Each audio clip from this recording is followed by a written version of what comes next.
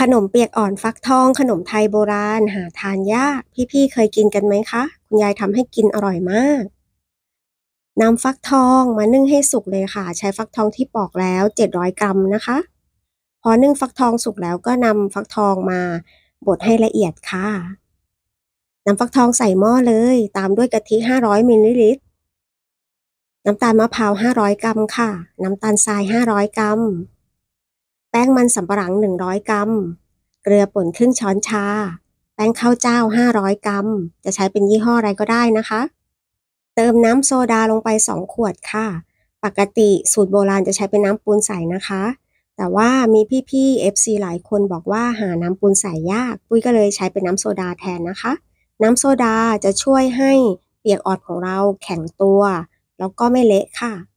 เติมน้ำเปล่าลงไป 2 กิโลกรัม สูตรนี้จะได้ถาดใหญ่ ๆ เลยนะคะ ถ้าใครอยากทำแค่ครึ่งสูตรก็ได้เช่นกันค่ะนำตั้งไฟเลยค่ะ กวนด้วยไฟอ่อนนะคะ พอแป้งเริ่มสุกเนี่ยเขาจะกวนยากนิดนึงค่ะ ปุ้ยต้องช่วยคุณยายกวนนะคะ เพราะว่าเดี๋ยวจะไหม้ที่ก้นหม้อได้ คุณยายใช้เตาถ่าน ถ้าใครใช้เตาแก๊สก็จะดีเลยนะคะ จะได้เบาไฟได้ค่ะถ้าเกิดใครใช้เป็นเตาถ่านแล้วไฟแรงเกินไปก็ยกหม้อลงแล้วก็นำถ่านออกนะคะ คุณยายก็จะเทสด้วยการตักใส่จานไปค่ะ แล้วเราก็จะพักไว้ประมาณ 5 นาทีนะคะ ถ้าขนมเซ็ตตัวดีแล้วจับไปไม่เละก็แสดงว่าใช้ได้ค่ะ อันนี้เราก็กวนต่อไปเรื่อยๆนะคะ จนกว่าขนมจะสุกได้ที่ค่ะ พอขนมเซ็ตตัวดีแล้วก็ตักใส่ถาดที่เราเตรียมไว้ได้เลยค่ะ ถ้าใครไม่มีถาดใหญ่จะใส่เป็นถ้วยเล็ก ๆ ก็ได้นะคะ ตักแบ่งทีละถ้วยก็ได้เช่นกันค่ะปุ้ยกับคุณยายจะทำไป ถวายพระที่วัดนะคะ ก็เลยทำเยอะหน่อยค่ะ สีสันน่ากินมาก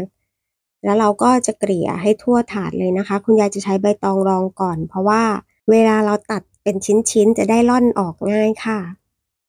ส่วนอันนี้คุณยายก็ลองใส่ในถ้วยขนมนะคะ เวลาเขาเซตตัวเขาก็ล่อนออกมาดีค่ะ